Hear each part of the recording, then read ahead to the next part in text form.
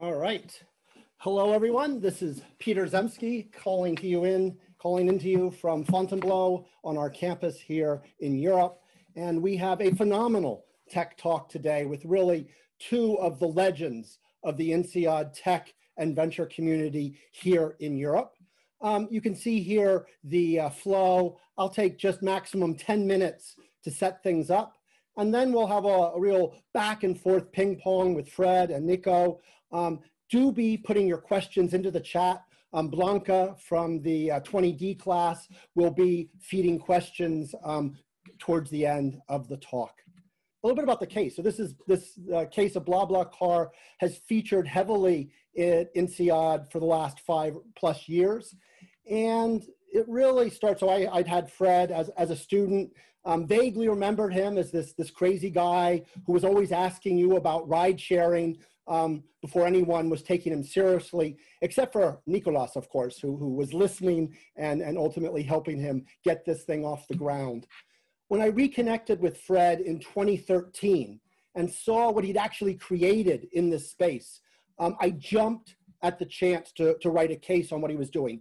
This is right as they were about to close their first 100 million euro mega round of funding, which at the time was really unheard of in France. And there are really three reasons why this case was especially interesting then and today. Well, so first of all, it's a classic digital platform play, right? The digital world is all about that the cost of connecting people have gone way down. And so we're seeing whether it's in marketplaces or social, all of these digital platforms emerge. And there's lots of people running around trying to start them and again, for most people, it's not as easy as it was for Zuckerberg or Snap. A lot of these marketplaces are hard to get off the ground. And what I liked about this case is this was a particularly tough setting to do it, right? It's a tough setting because it's not like Uber, where I just need a few hundred drivers in a city and I've got a basic service. They're bringing together individuals on both sides of the market. You've got all the people driving between, you know, Berlin and Paris or Lyon and Paris, and the people who need rides. And it's an incredibly demanding to get the liquidity on the marketplace in terms of city pairs and in terms of destinations to have a viable transport network. So it's a, it's a really tough challenge, like many platform plays. And then at the same time, if you can pull this off, as it again at the time in 2013 they were already doing that in france and a few other countries you've got tremendous value. Again you can make profits but also in terms of where tech was going people it's a real opportunity to connect and build a community and maybe even a more important planet it's ride sharing it's reducing the carbon footprint in a country. So you've got that was a second key theme and then the last one, I hope we'll get into as well on this, this call today, is they absolutely were one of the early European unicorns. They've emerged as European champions. Both Fred and Nico were successfully out in California, and they chose to come back to Europe, to France, and they've always been quite articulate and passionate about the need to build European tech. And, and so even today, Fred, as we'll talk about, has stepped back from the day-to-day CEO um, challenges, leaving that for Nico um, to drive through COVID. And, and Fred's really become a key player in France and beyond in terms of thinking about how we further develop the French and European tech ecosystem. So hope that we get into that as well. Um, so with that, oh, I should also mention that, um, again, many of you on the call, that BlaBlaCar may be somewhat new to you. At the same time, many of you have studied it, the case, or even today, we used BlaBlaCar um, for those who start INSEAD. They take P0, and they basically see Fred and, and Nico at the critical moment in 2016 talking about the challenges they faced they get lectures from the actual faculty who taught them when they were at INSEAD, and, and the students discuss what they would do. Um, one of the raison d'etres for this webinar is to update students on what's happened since we filmed that in 2016. All right, so that's uh, five minutes from me. Fred, Nico, why don't you turn on your cameras and show yourself to the audience. And um, what I want to do at the beginning, we're going to get into COVID. welcome, first of all. Thank you. Thanks for having us. Yeah, it's really good. Good to have you back. Hello, everyone. Virtually on campus, at least. So I guess we'll start with you, Fred, and sort of remind us kind of where was BlaBlaCar at the end of 2016 going into 2017? What did you build in, in your, this is this end of the period of hyper growth, and what were the growing pains that you, you left Nico to deal with? Well, so what, what we had achieved um, by 2016 was uh, mainly a product that works for long distance carpooling and a product that has a business model. It was not that easy because we tried uh, six different business models that you may know.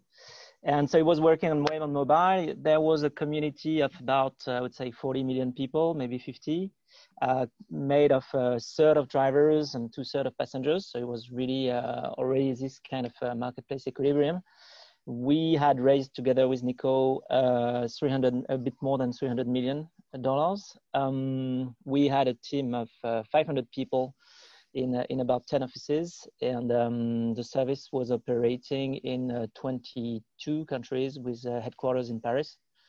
Um, and then uh, right after that, when CEO took over the CEO role, I focused on more uh, innovation as well for the uh, short distance product in 2016, 2017, and um, uh, for the commuting trips.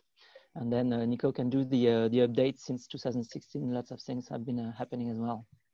Tell us about in terms of pride and what you built because it was a it was a hard road. There was a lot of years of eating pasta as you uh, put this all in place. Um, you want to talk a little bit about the impact of the business? Not, not just obviously you were getting some profits now, but on terms of sort of people, community, the planet. Well, I, I think uh, I did not really think too much about what we were achieving at this time. I was just like uh, trying to build it, trying to make it happen, but not really looking at the. For, for me, the the scale it was reaching was like kind of normal. I've always been in this uh, state of mind that this thing should exist and it should be big. Um, and so someday I would say um, other people realized it was big, but it was already big in my head anyway. So um, then the, the, the mission itself really helped to fuel the uh, energy, I think, like the mission of uh, uh, making a service that would reduce uh, CO2 emission, that would uh, connect more people, that would bring uh, affordable mobility. And so it really played this role. And then by doing so and by doing with our guests, I think we, we built a service which is now considered as an example. Mm -hmm. Yeah, so, so yeah, as you as you're showing here, it's 1.6 million tons of CO2 saved in a year. Uh, that's a calculation we made uh, last year or the year before, but it, it's uh, uh to give you a sense of scale, it's more than the entire CO2 emissions uh, that come out of uh, the road traffic in Paris, including the buses and the peripheric per year. So it begins to be quite sizable. All right. So let's put the slides away and, and, and bring Nico into the conversation. So um, again, you played a huge role in building BlaBlaCar. You've done a lot of the fundraising. Um, what what was sort of the mission as you you took over in 2016, and what were some of the you know changes that you need to make? Yeah, no, it was as Fred was saying, it was a very interesting phase from uh, call that 2012 to 2016, where essentially it was all about growth and all about international expansion. So we'd say you're the the big focus of the company was global mobile. So essentially, it was about like going everything moving into an app and everything moving moving global. So we went extremely fast, uh, and, and, the the obsession was like planting flags in as, as many countries as we could. Uh, we raised tons of money to do that, uh, and we went from essentially one country to 22 countries in about four years. Um, so as you do that, you you create like massive growth you also create a massive mess right? Because you, you launch lots of countries at the same time and, and and you optimize for speed. You don't optimize for for perfection. Um, and i think you we've done that. I mean we've done those mistakes but we've done that uh, pretty well. So in 2016 i guess it was an interesting turning point in many ways. Um, first we had to do a bit of triage and cleanup in, uh, in in this global expansion. So there is a point where you step back and you look at where you've gone uh, and you realize that some countries are doing phenomenal. So we had Russia, we had Latam doing well, we had some countries like the UK not taking off. We had some countries where it took a bit longer and the model was not perfect. Uh, so, so, so, we had to do this adjustment uh, on, uh, on the existing business. Um, we also decided, as Fred mentioned, to slightly change the dynamic actually uh, in the founding team. So you know, there was a point, I mean, essentially from the beginning to 2016, the founding team was kind of the board, the founders, but also the executive committee, and you know, all of that was was essentially in the three of us uh, running the show. We, we changed just, that. Just so people know, the, the CTO was someone I guess that you've known from before in INSEAD. Yeah, so Francis was, uh, I mean, was is uh, the the third co-founder, uh, and he's, he's, he's the guy doing the work actually. yeah, I had met uh, Francis uh, before joining INSEAD, mm-hmm. and then uh, he decided to to join the project, but he was still working at his other company, and then he decided to to come join when mm. actually mm-hmm. about the same time as INSEAD, maybe it was 2007. Anyway, but a big so, we, bit of a shift in the leadership yes, approach. Yeah, so sh- shift in leadership uh, uh, approach back in uh, you know, early 2017, late 2016. But also, and probably more importantly, uh, you know, it was about like opening a new chapter, and we thought together like okay what do we do next? So we've been doing global expansion. We've been demonstrating that we can scale that model in many countries. Um, you know, what's next for for for, for BlaBlaCar? And it became pretty obvious to us that the next chapter would not be mostly about geo expansion, it would be about product expansion. And essentially, we had built something pretty unique, which was this community of travelers that have like a very rich profile, which you don't do on, a, on an airline site or an OTA. I mean, you don't tend to have like a full profile and rating and all the information you gather and which meant that people came to the platform essentially for free. Like we had very sticky traffic, uh, very high NPS, Net Promoter Score, around 60 to 70, depending on countries. And essentially, we only offered carpooling to people, and we could offer much more because essentially we, we saw that they expressed uh, you know, uh, lots of travel needs, and essentially we don't fulfill all these needs. So essentially, we decided to expand the product offering, uh, going into short distance carpooling, as Fred mentioned briefly, um, but also pretty much anything on the road. So we started to aggregate buses. We started to acquire a company called Ouibus in France, a company called Busfor um, in, uh, in Russia, which, by the way, if you think of it, is more or less the same scaling model we apply to the geo expansion, we apply to the product expansion. You're a mix of building and buying and, and going fast. So today, over the last three years, I would say, um, we, we've been sort of like building that new journey uh, and also redefining, and that's that's important maybe to mention that redefining the mission of BlaBlaCar as now we talk about the go-to marketplace for shared travel, not just carpooling. Obviously, carpooling is the rock bed of that. That's the DNA. Uh, but the mission is not broader than that. Uh, we tend to talk about zero empty seats you know, as, a, as an obsession and a mission. Like, how do we optimize transport with you know the car being the centerpiece, but also buses and trains and uh, and all of that let me dig in and, and Fred, you can jump in on this. Let me push you a little on the geo expansion because clearly your idea was to get out there and experiment. Um, but what did you what did you learn about where the model works well or less well? I mean, because obviously you could make an argument that it's not by accident that this came out of Europe with you know high cost of driving and and, and a certain network of cities and things. So what what I think part of it, yeah, what did you learn about where the model works well?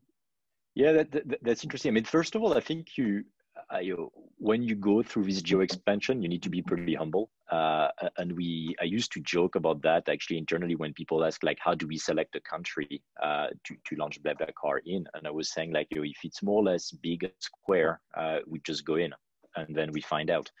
Uh, and jokes aside, I mean, sometimes it's almost as basic as that. If you realize you have car and it's a pretty universal product, you, you get to try. Uh, what we found is, and that was interesting because it was almost a handicap uh, in the early story of BlaBlaCar, is that it never took off in the US.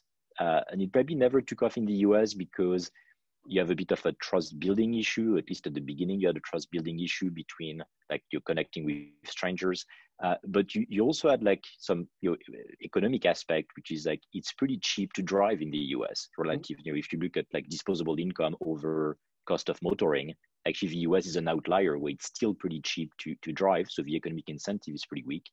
And you have a fundamental first mile, last mile problem in most cities in the US. Uh, and essentially it meant like we would have uh, requested the driver to taxi in Los Angeles or the Bay Area or wherever mm. to pick up two or three passengers. So it, it, you know, we have not launched the US. We would have, I mean, we both lived in California. We would have loved essentially to, to, to make a play in the US. But essentially, US uh, never worked. Uh, as a side note, actually, uh, Lyft, that most people know, so the uh, Uber competitor, started as a company called Zimride. Uh, and I remember I met them back in 2010, John and Logan in, in Palo Alto. And we thought like, if one day we compete, we've done well because we evangelized the world to, to carpooling. And we never did, but we both did well. Uh, and that was interesting because I also took that as a proxy that two pretty smart guys tried, failed, decided to pivot, became successful. So I want to actually dig in on the first part though. So, so that, that's mm-hmm. very helpful to understand. Um, but again, what you also talked about at the very beginning is I think the fact the US is such a reference for tech. The fact that your model didn't fit the US, did, did that make it then more challenging to go global, do you think? Fred, I'll push you on that one. Yeah, to so, so maybe to kick it off, to, to uh, because I was mostly doing that at the very beginning. Mm. Uh, for fundraising, it was a real handicap at the beginning because the European VC mentality was that essentially if it does not exist in the US, it's not going to exist in Europe. And, and, Europe was just like essentially a time lag to US innovation. Right. Um, turned out to be a huge advantage as we scale because we became like something unique uh, and we're not Fred, some kind of copycat yeah. of anything. Yeah, a little bit. Yeah, it's true. Each time we were in the US at this time, uh, we had to explain what we were doing, and then they were like, "Oh, so you're like Uber?" We're like, "No, we're not like Uber." so, "Oh, you're like Lyft?" No, no, no, we're not like Lyft. And so then, then we were sort of an animal that, that did not exist in the US. And so uh, we were not on the map. And so we had to, ex- to explain what we were doing. It was pure C2C carpooling and not with uh, um, professional drivers or whatever. And so uh, this was both a handicap, as you say, because we could not really scale our service in the US for the reasons uh, Nicolas mentioned but also uh, it was kind of an advantage because we didn't have a, a, big American actor like coming and trying to expand in our countries. So um, that's uh, that's the way we were able to uh, actually also uh, grow with this unicity, which actually may reflect, as you were mentioning, uh, possibly a European way of uh, seeing um, the sharing and the trust that we've been able to build as well. Uh, all the trust system we've built uh, is, um, I would say, uh, totally linked to the culture um, you know, one day when we made uh, our values for, uh, we, we really gathered the entire company to um, settle what were our values, um, but like the main core uh, values, we, we came up with three words, uh, which are freedom, fairness, and fraternity. And then we tried to translate them in France, and we're like, okay, so freedom is like liberté, fairness, uh, uh, fraternité, maybe, and um, uh, well, fairness uh, is um, égalité, égalité, or or like maybe mm. some other words, and then fraternity is fraternity, and we're like, okay, liberté, égalité, fraternité. Does that ring any bell, guys? I mean, yeah. so. we we remarked that actually in our DNA by uh, doing as we felt we had built a company which was totally um, totally linked with the culture we originated from. Okay, so um, again, but in many ways, you, you, you did have both this European element and again, all of these, I'd say, tech startup culture that you brought from California. The things like let's try and learn fast and get all those kind of elements. Um, but then I wanted just to probe slightly on the bus move. How, were there long, when you when you teamed up with your arch competitor the state rail system and bought their bus company. Um, a lot of debates there. Um, how's that working out? Any comments on on that part of the bus move? Yeah, I mean, maybe. I mean, carefully. I think you have you have two parts to that, right? You have one that was a fundamental conviction that I think we developed over time and that became mature in 2016, 17 in our head, was what I was describing earlier. Like we have to become multimodal. We have to leverage this large community to do more than carpooling, and we have to use the car's universal connector in transport. So the long-term vision that we have not reached yet is really to offer buses and train and connect all of that and become this you know, go-to marketplace. That, that's an obvious move for, for many passengers to book you know, whatever gets them from A to B in mid-long, mid-long distance. So that was pretty clear. then there is the how you get there, right? So so suddenly you realize like how do we get buses on the platform? Uh, and because essentially, interrupt, buses were in play at that point. So there's lots of buses, innovation coming yeah. around Europe, right? It's not you can't sit it, around it, and do it slowly. Well, it, exactly. It was a moving world, and essentially, it's a world you could split in two. Uh, there was Europe, which strangely enough discovered long distance coach, at least continental Europe, like France, Germany, Italy, and so on, with the deregulation of transport in 2015. I mean, it was between 14 and, and 16, I don't remember exactly. Uh, uh, uh, that, was one side of the market. And then you had the rest of the world, uh, you mostly countries where we operate carpooling, like Russia, Ukraine, Latam in general, India, where essentially those are huge markets, highly fragmented, mostly booked offline. Um, and to tell the truth, I, I, I get this person a lot more excited about the rest of the world because you realize that's kind of a rare play where you look at this like you know, tens of billions of dollars of bus booking, highly fragmented, not sophisticated, all booked offline. And it will, the, the question is how, by who, and, and when, but it will go online. Uh, so, so, so you know, digitalizing this entire world was interesting. In Europe specifically, it was a different play because you had like, like essentially like a few people moving in, creating this new market and not fragmented and not offline directly online. Um, and essentially, the only fast track was an acquisition. Uh, and it's true that you know back in 16 or 17, if you had told me like, hey, maybe you're gonna go and acquire a subsidiary from SNCF and transform it to accelerate um, uh, that journey, I think we would have both have, both have laughed a bit, right? Uh, but you know, o- over time, you, you, mm. we we had good contact with SNCF. We we were never in like direct fierce competition. Actually, we always saw that as complements.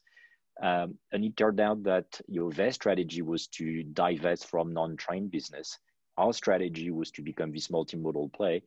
Uh, and yes, it became this sort of like you know, strange M&A where it's the, the startup acquiring uh, a, a, subsidiary from the large national rail company. But it's but also it was more like a path like to, to we, get to the goal. Yeah, we, we, we followed a, a, an overall strategy. We had two choices mainly, I would say, in 2016. Uh, which were either to go um, on we had two assets. We had the community, which was uh, already big and growing in all the, in the countries, and we had this um, possibility to address uh, transport needs of uh, the people and then propose them several means of transport, which is the one we chose. We could have, uh, we, we really had this, uh, this fork in, the, in our past. We could have gone fully on community and propose other services uh, that uh, people can help each other uh, on which like you could you could think of all the um, classifieds models that you modernize with transactional models uh, or like everything that people are doing when they help each other could could have gone in this uh, in this direction, including an Airbnb-like uh, service or something like that. Um, or we could go uh, the multimodal way, and we saw that um, in the multimodal way we would exploit our two main assets, the community and the fact that we were labeled like a transport solution, which uh, would uh, which was making and is still making our legitimacy in uh, in offering several means of transport the strategy professor and me is loving this. These are exactly the kind of big questions we love to teach about. Now, of course, we know execution is always a little bit interesting. So as you guys moved into buses and the different markets, as Fred, you tried and, and did some interesting things around uh, short distance carpooling. Um, were there any particular surprises, things that you, you know, that, that uh, either positive or negative that popped up before COVID? We'll go to COVID in a second. But um, in 2019, what was interesting? So, so I would say two things. I don't know if there's surprises, but but but but it's two things that have been pretty interesting to me. I mean, one, you know, I would say one very positive on strategies. The, the the whole idea was to create two very complementary networks, right? So so one thing we have not mentioned is carpooling is extremely good at doing point to point and we've been working so we, we changed the, build the product paradigm in 2017 and we decided okay we need to push carpooling not to compete with buses and train, but actually to map out the rest of the network that's dominated by cars. Um, so the real enemy, I would say, of carpooling is not trains and buses; it's actually people driving their car alone. So it's it's actually like empty seats in cars, and that's what we we, we fight against. And we found that you know, as we integrated uh, buses in France, same thing in Russia. Now we're doing it in, in, in Brazil. It's highly complementary. There is very little cannibalization. So essentially, we increase the pie and we don't cannibalize any of these two modes of transport because the topology of the network is highly complementary. Then, from a pure, uh, I would say, culture point of view, uh, it's it's interesting because it's more challenging. So, in a sense that you, when you start integrating um, a company that was a subsidiary of SNCF, uh, and, and that was a pretty big team. That was 150 people. Back then, we were roughly 500 people, uh, I mean, even a bit less. So, so it's, you know, it's, it's, it's a big mass in proportion of your company and your culture. And you know, it came from a different culture uh, that was a lot less of a digital marketplace type culture, but more operator culture. Um, so those sort of post-merger integration take a lot of time, a lot of smart people, um, and you know, even if you have the right theory on, on strategy, which I hope we do, we'll find out, I guess, in um, in a few years. You can screw it up actually uh, if you do like you know these very fast M and A uh, built up. And remember, like we acquired two companies, one in Russia with 100 people plus, one in France with 150 people. So we've done two very bold moves within 2019. And the challenge was, okay, how do you digest that? Uh, uh, uh you know, and, and, take the, the juice of that.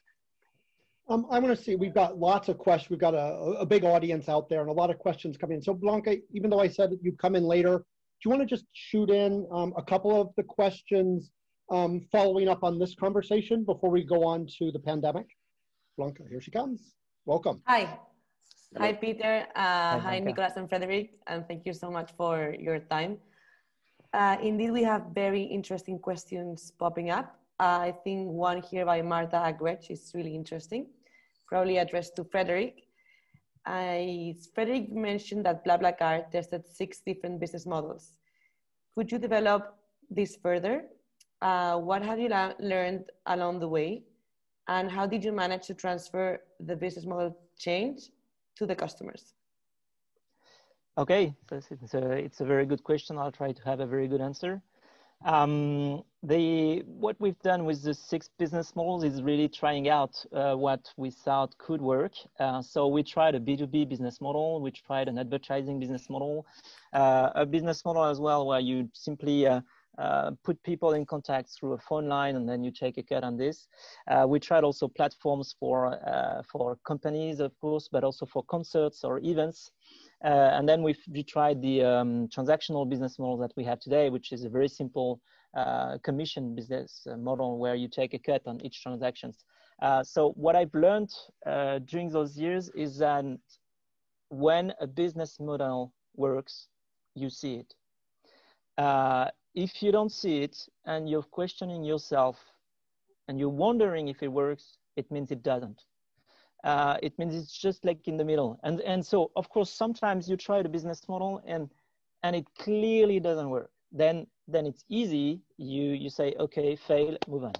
The worst case is when you have a business model which mm. seems to work or wants to work, but it, it's not really bringing you all satisfaction. It means actually it doesn't work.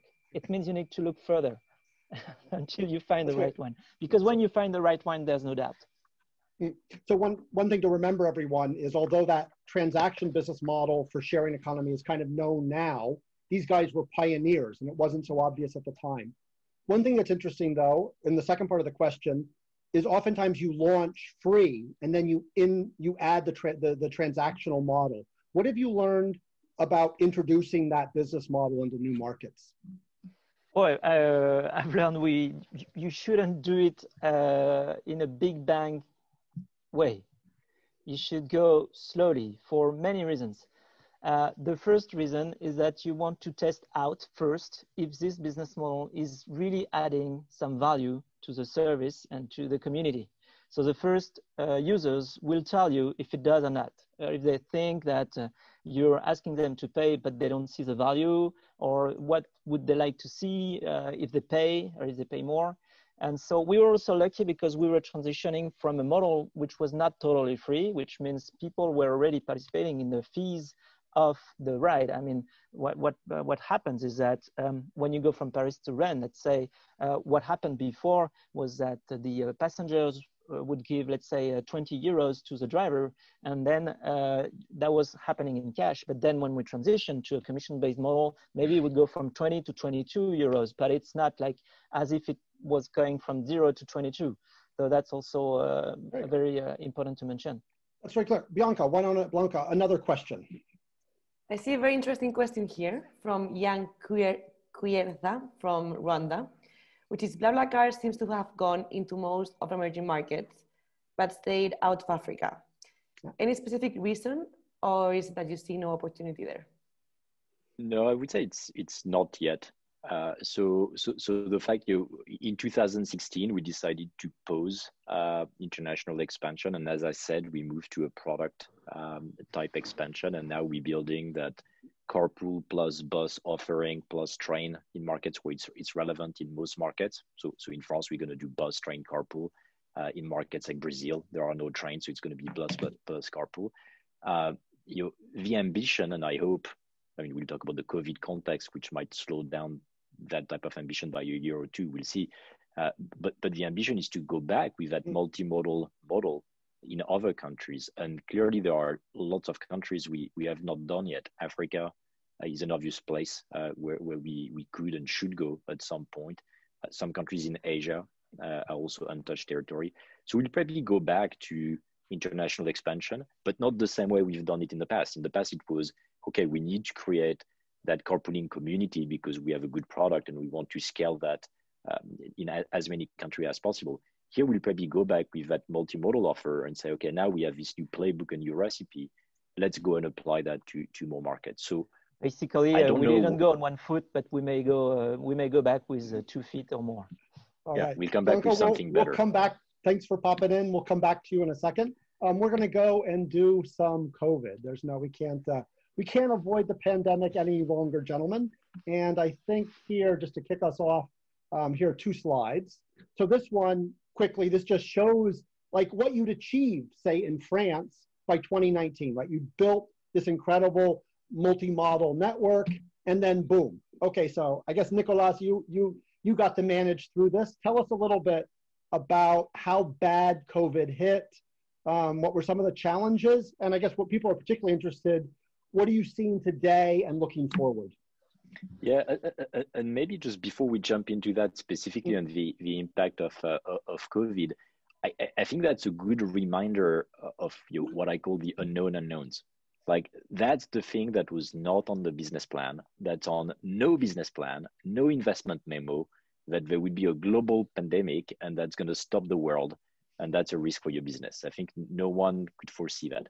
Um, and that, that, you know, that's interesting because those type of events, uh, happen actually more often uh, than we think. Like if I look at my 20-ish year career, well, there was 9/11 and the dot-com crash in Silicon Valley. I was there. Then I had the great idea to go into venture capital in 2007. Boom, 2008, 2009. That's ma- massive financial crisis. Uh, but it, it, happens more often that, than we think that you have these like massive externalities completely changing the game more so than any competitor fundraising and sort of like normal incremental operation. So anyway so that's what happened like big tsunami uh, in the in the world and specifically in the transport industry.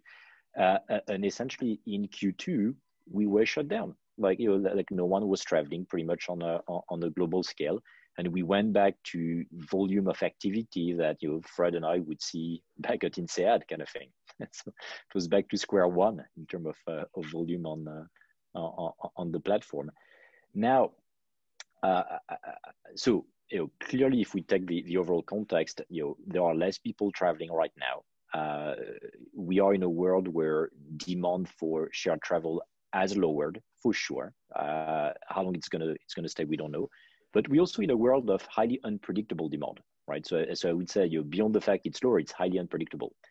And when you say that, it becomes interesting because if you look at this C2C model, like very marketplace C2C model, it's actually really good at, uh, take, uh, taking shocks because it essentially it shuts down on itself and it restarts on, on itself and you have no fixed cost. Like you don't need to buy plane, trains, buses. You don't need to contract operators. You don't need to prepay. You essentially you don't need to take risk on inventory. Um, so from a, I would say from a P&L point of view, we absorb, the, the cash point of view, we absorb the shock really well. And as you can see on the on the graph you're showing, I don't know if people see see the slide, but you see a very fast rebound uh, in in activity post COVID uh, because people came back uh, and people started to share again and, tra- and travel again. So I, I would say the, the fact that we are a community, that we don't have fixed cost, that fundamentally we're driven by domestic trips, not international trips. We're driven by leisure, not business trips. So you don't zoom to see your girlfriend, boyfriend, or, parents. You, you, need to move. Uh, and we tend to be in a pretty young, uh, price sensitive audience. Uh, you, if you put all of that together, actually, we rebounded much faster uh, than you know, any alternative. So today, you in, in an abs- in absolute term, we're doing less than we thought we would do clearly in 2020, given the context. Interestingly, in relative term, um, we gain market share in every market. And I'll add actually one um, interesting element actually in uh, specifically non-European markets where we aggregate buses.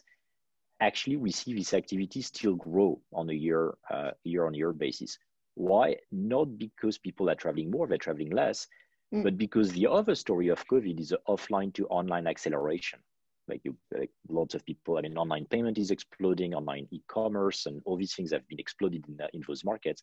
So actually, the proportion of people booking their trips, their bus journey online in markets like Brazil, Russia, and Ukraine mm. has increased faster than the, the, the, the overall, I would say, tide has, uh, has gone down.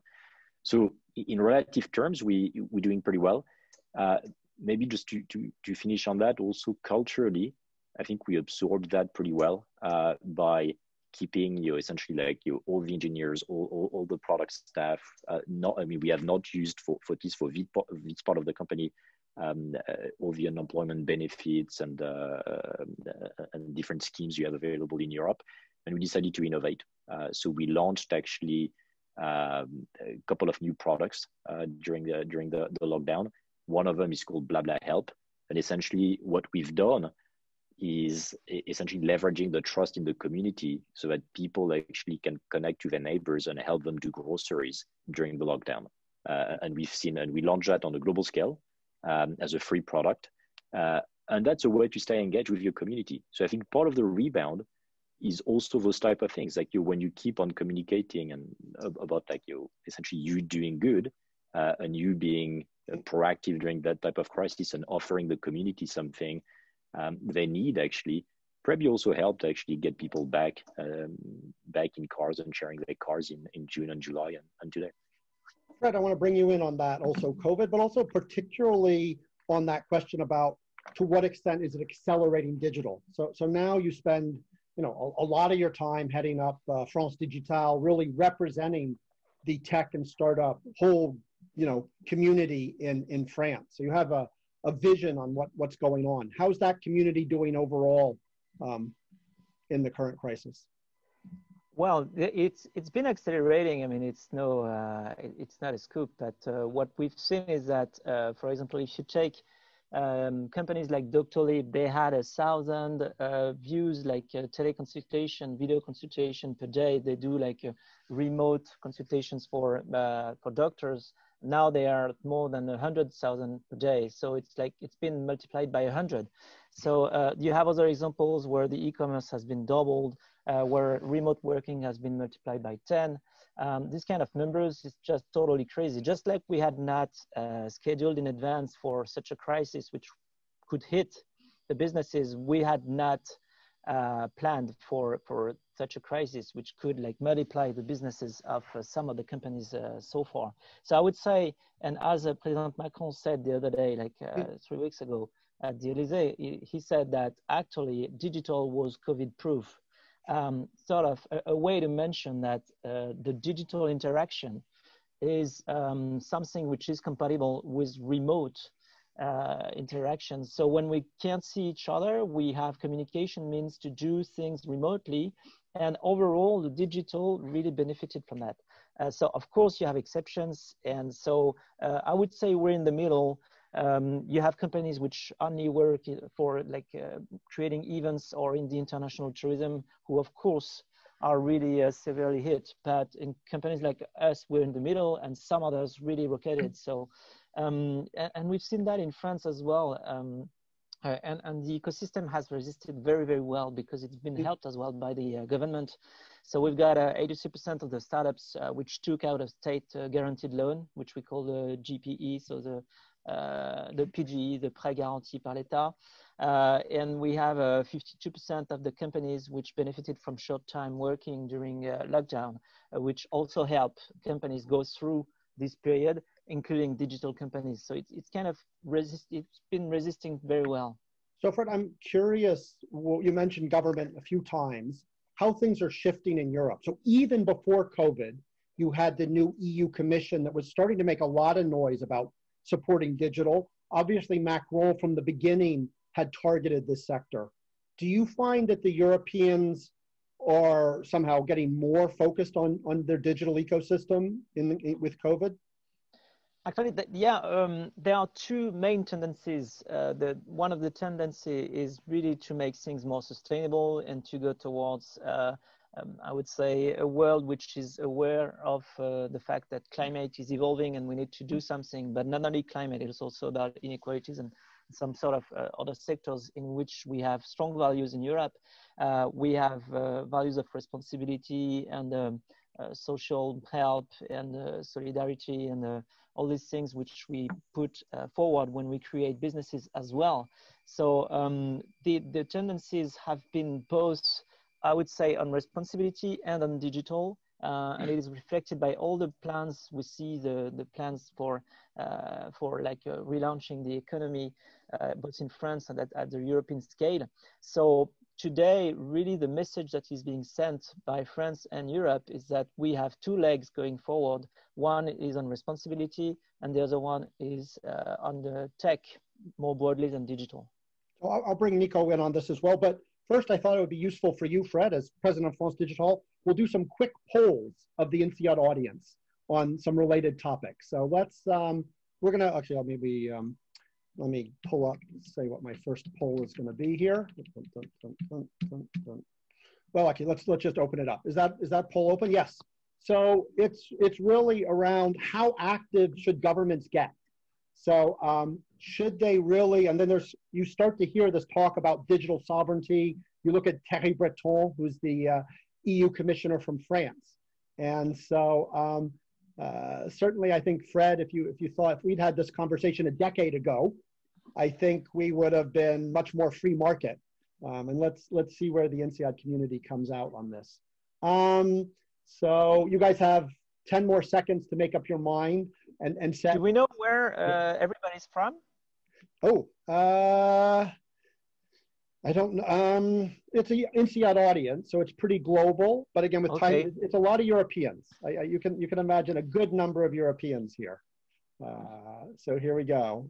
All right, uh, five more seconds. We've got a good sample. We've got, you know, we're, we're, we're, we're, well over 300 um, people so uh, who've answered already, 350. All right, folks, I think we've got enough to show Fred. Here we go. Um, so, uh, so only 9% are sort of still, this is a bad idea. Um, six, so 15% neutral. The most common um, response now is limited support government should actively be developing their, their, their local ecosystems. And still over 25% think actually maybe you should be constraining foreign competition, which typically means big tech coming out of US or China. Um, I don't know how you guys, I mean, how do you want to take, has your shifting on this issue changed or the people in the, the tech community, is it shifting? Fred, well, maybe first.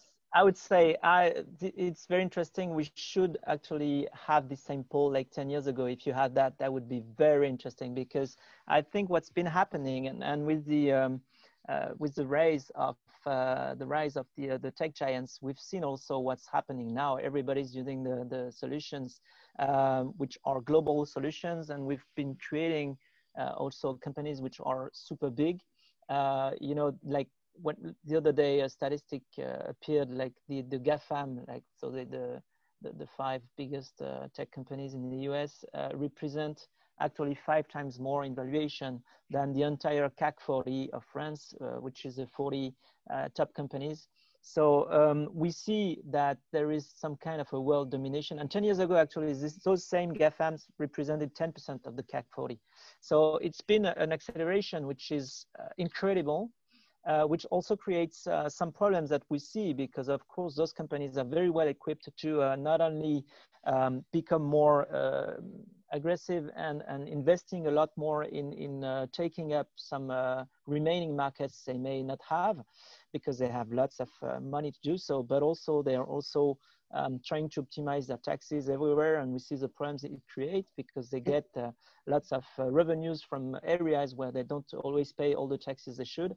So this is uh, creating lots of tension. And so there's one thing which I had heard a lot um, uh, during like all the the, the years uh, we we were saying um, like we, we should have a free market and everything is that monopolies should be broken and regulated uh, and so I think we, we're at a stage where we, we now see why and we need to, to act. And also in Europe, we, uh, we've been playing a part, I would say. We've been playing uh, like just like in music, you know, we've maybe we've been playing a part which we can be very proud of, like uh, opening everything and be free about everything and uh, have an open market. but maybe uh, we should revise a bit that part because when we see um, that, uh, of course, uh, other areas um, tend to to uh, favor a bit more their own solutions. We see that it's a strategy which when, is. When you say other areas, you mean U.S. and China, perhaps? Yeah, yeah. Well, we see that the U.S. I have a statistics that the uh, U.S. Um, uh, public ordering, you know, for solutions that uh, among the top 200 companies who answered and got the uh, the markets uh, for the in 2019 in the US, uh, you have 89.5% of those companies which were American. So we see that the um, uh, public uh, American mm-hmm. government is is buying American. In China, they're buying China, and in Europe, we buy European and Chinese.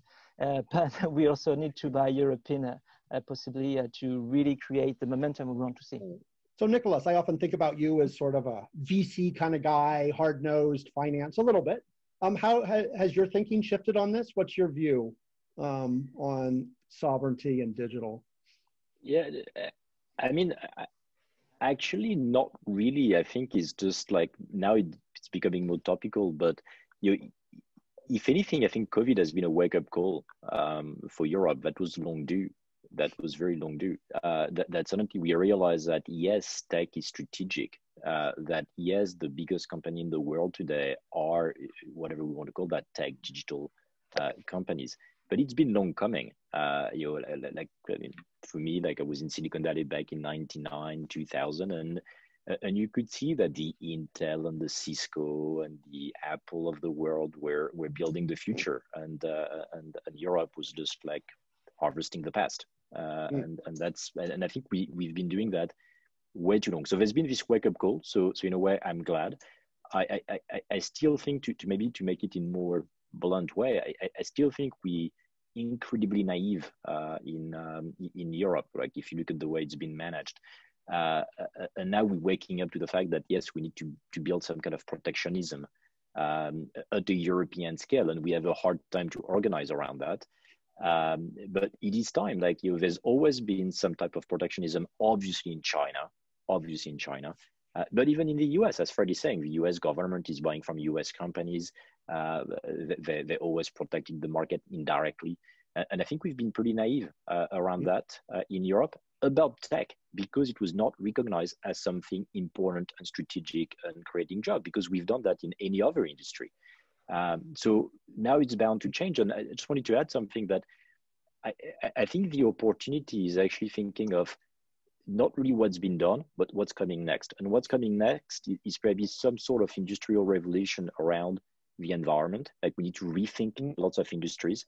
and you know that's going to come in some shape or form. Regulators have a have a great role to play, uh, and if you look at uh, at Europe, we're doing pretty well in terms of like CO2 reduction, in terms of like consumer awareness. So some of these big companies should come out of Europe. Like Tesla should be a European company, except you know we didn't wake up early enough. Um, but but I think the next the, the next companies like Tesla ought to be European. So so I think as as founders today, um, I think surfing on, uh, on, on the environmental European momentum is is hopefully okay. a good thing. Anyway, for people in the audience, what Fred and Nico are, are articulating is, I think, more and more where the thinking is going in leaders in tech, at least in Europe. Um, Blanca, come on back and why don't you fire a few um, questions at, at our guests. Hi. Um, uh, we see a couple of questions coming up regarding competition that I think are interesting. Uh, the question would be, who do you think, would you, who would you say are your competitors today?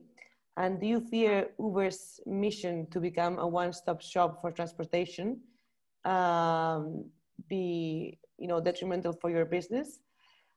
Do you see yourself entering the Uber Lyft core business? So what I'm going to ask you guys is give um, sort of short, punchy answers, and we'll we'll do a bunch of questions. You don't have to give the full thing, but just quick. Yeah. What do you? What, yeah, what's the current answer on the Uber question?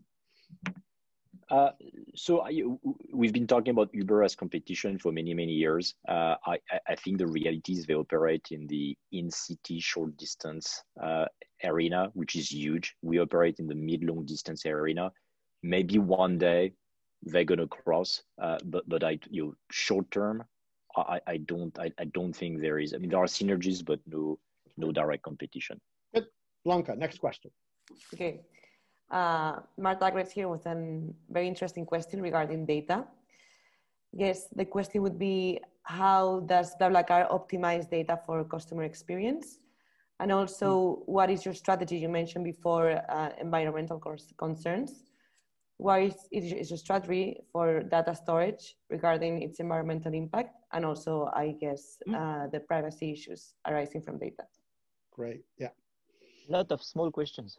Uh, yeah, it's, it's, it's, hard to do one punchy answer on this one. no, no, no. Just kept, well, well, sure, actually, start with how you use data to optimize the rides. Some of the, I think that's really good.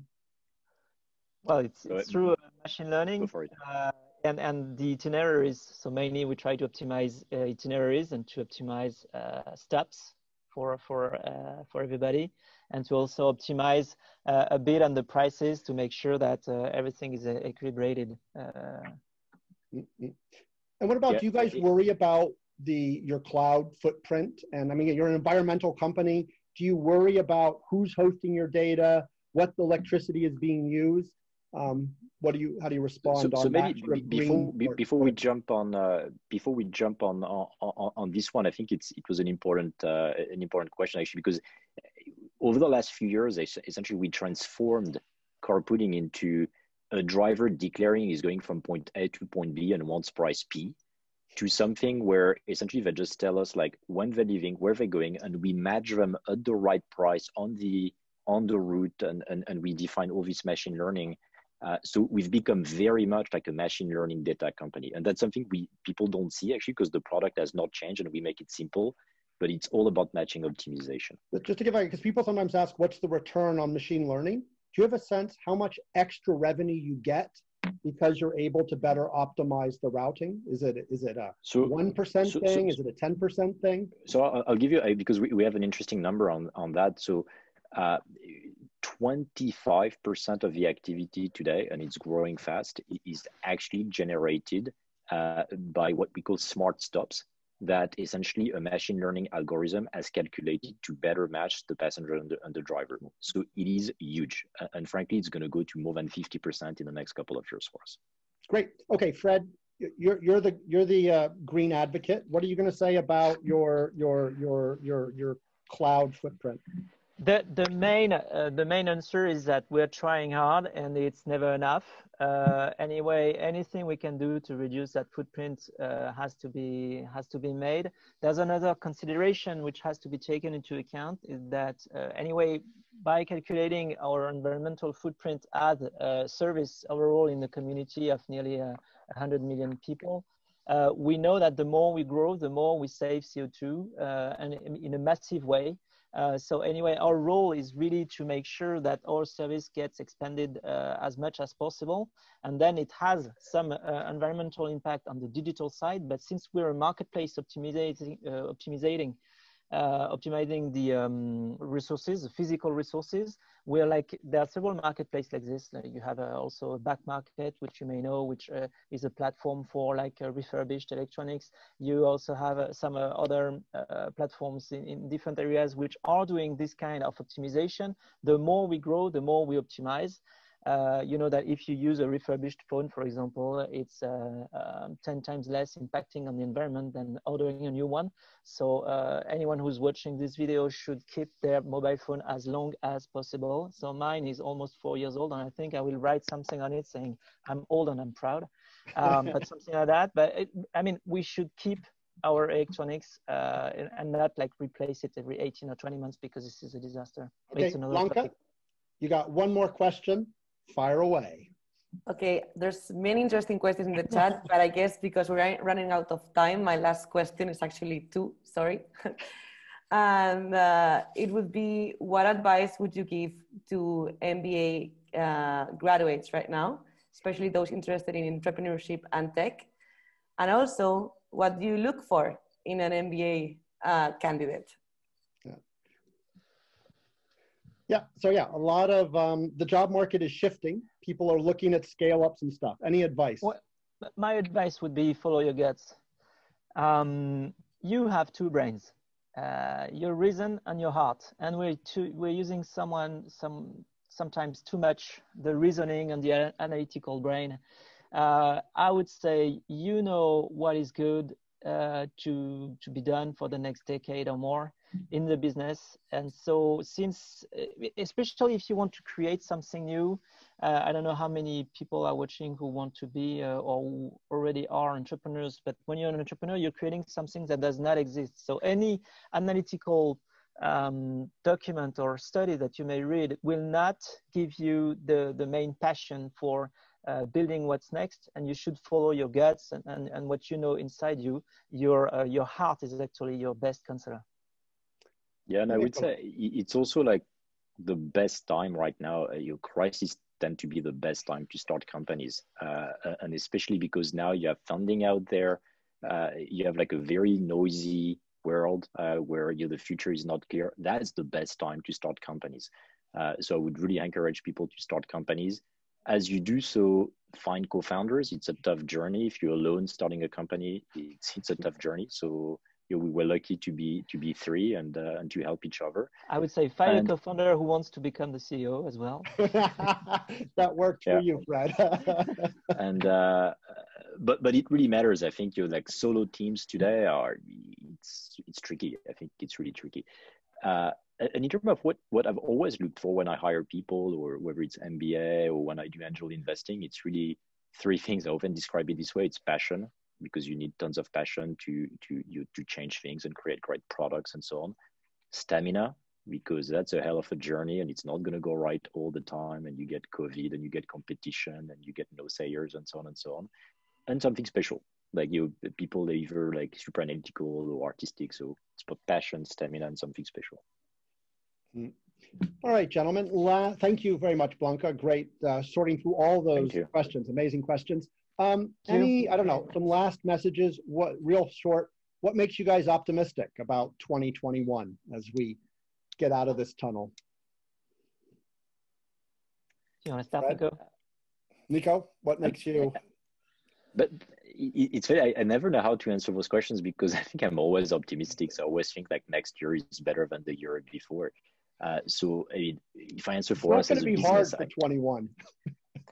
No, no. I mean, for 21 post COVID is going to be interesting. I, I, I, I think the, the, the fact that we kept on investing and that we we've gained market share. I, th- I think 2021 and beyond actually might be a massive acceleration ramp actually um, uh, for us. But you know, in general, I'm pretty optimistic we're going to get out of that. It's just going to be different. We just need to acknowledge that if you expect the same in 21, 22, you'll be sad.